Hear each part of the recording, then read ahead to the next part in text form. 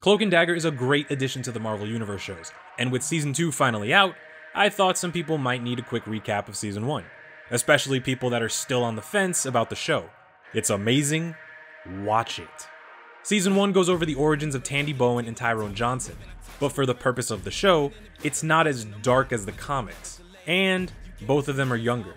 When they were kids, Tandy and Tyrone get exposed to a mysterious energy thanks to the Roxxon Corporation. A platform explodes, and when it unleashes the energy underwater, the two of them were both, coincidentally, underwater. The explosion inadvertently causes the death of Tyrone's brother, Billy. A cop gets scared, and he shoots Billy in the chest. Billy falls into the water, Tyrone dives in after him. Tandy, on the other hand, is in the car with her father.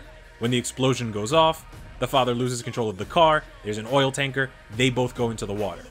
Billy and Tandy's father both die, but Tandy and Tyrone survive. When the energy hits them, somehow, usually adrenaline, their powers kick in and they end up helping save each other. Years go by and they don't manifest their powers, but as they get older, both of their lives go completely downward.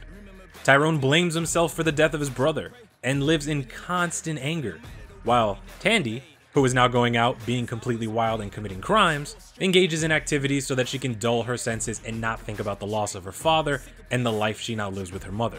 One of her favorite things to do is to steal from rich kids because, according to her, they have enough already. After another coincidence, Tandy and Tyrone end up at the same party, and when she tries to pick Tyrone's pocket, Tyrone chases after her. Being so close to each other, the both of their powers finally activate, and this is the start of them trying to put their lives back together. The two learn that they can use their powers to try and figure out the truth behind what happened to them and what happened to their family. Tandy trying to figure out why Roxxon framed her dad as the cause of the explosion, and Tyrone trying to find the cop that apparently doesn't exist that killed his brother Billy. Surprisingly, Tandy actually infiltrates Roxxon and is able to learn a lot about some secret experiments that they've been doing, and about a man who survived the explosion. She meets Mina Hess, the daughter of Ivan Hess. She learns that Ivan's been in a coma since the explosion happened, and with her brand new powers, she's actually able to enter his mind. With Cloak's help, they use their powers to try and free him from the coma. Luckily, they learn a lot about what's going on and what happened that night. Sadly, Ivan doesn't remember anything when he wakes up. He does, however, give Tandy information that helps her pin stuff on the Roxxon Corporation, which is very lucky. With the new information and her awesome powers, Tandy is able to kidnap the CEO of Roxxon, which should be almost impossible, and get him to admit to all of the things that Roxxon did. Sadly, Tandy finds out some stuff about her father that she's not too happy about. Mainly, that she doesn't remember him exactly how she thought. Turns out that he was, on occasion, beating his wife. Thrown by this new truth, Tandy takes up the Roxxon CEO on an offer to get a buttload of money in exchange for the incriminating evidence. She takes it, and then she goes back to her old ways. Tyrone, on the other hand, starts looking into the cop that murdered his brother, and with his cool powers of teleportation, which he cannot control, can spy on the cop that apparently doesn't exist. Like I said, Tyrone doesn't have complete control of his powers yet, so it gets him into a tight situation on more than one occasion.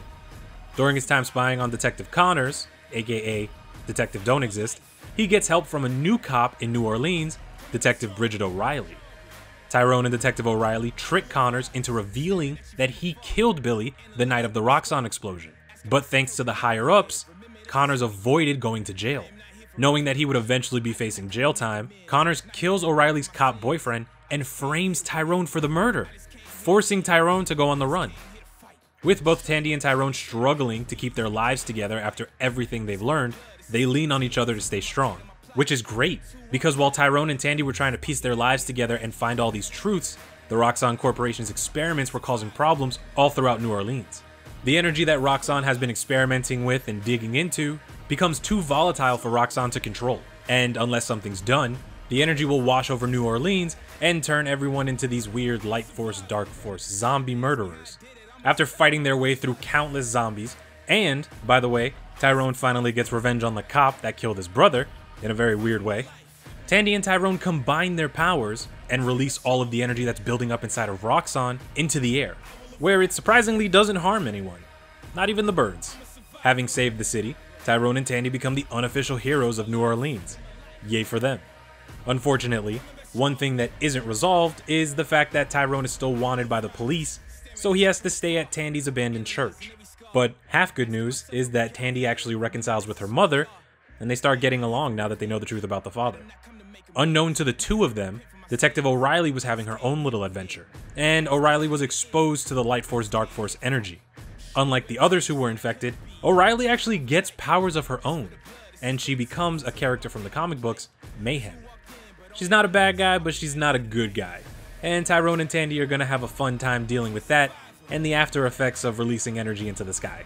Also, I'm pretty sure Roxxon's not done with them. Let me know if you guys were pumped about the season 2 premiere and if you want to see more Cloak and Dagger going forward, and if you also want to see a comic book versus season 1 video, because there are a lot of things that are done differently, including the fact that they never met up with the Runaways.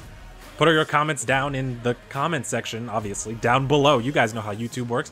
I will see you guys in the next video. You're awesome. I love you guys. And I, I already said I'll see you in the next video, okay? I'm not good at goodbyes. I'm just, I'm just gonna go.